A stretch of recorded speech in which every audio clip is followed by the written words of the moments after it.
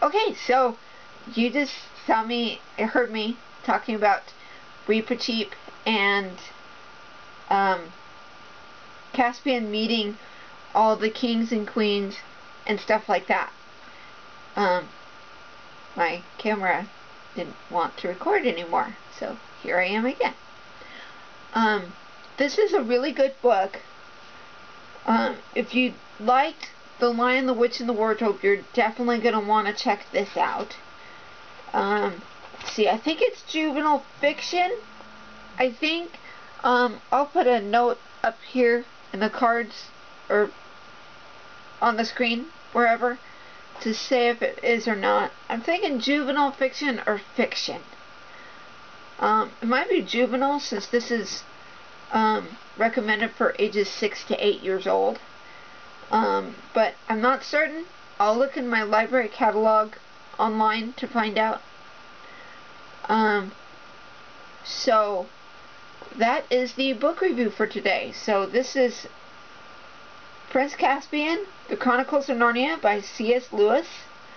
Um, I'll put a link to Amazon um, where you can find it. Um, like other book reviews I've done, the um, covers may not be the same. And it just depends on who publishes it and what they choose for the book cover. Um, as long as it has Prince Caspian um, in the title, it should be fine. Um, but I've seen, in the search results, I've seen uh, Prince Caspian the Return to Narnia. And I don't think that's the same thing. So, um, I'll put a link, like I said, to Amazon. Um, I'll put a link down in the description below to the playlist of all the other reviews I have done.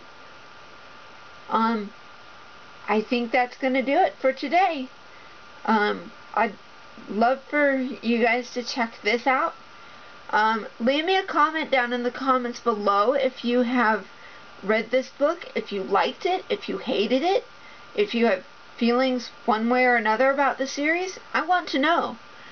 Um, thanks for watching, you guys. Thanks for subscribing. Keep reading. Don't stop believing. Happy New Year. And we will see you again tomorrow with another book review. Thanks, guys. Bye.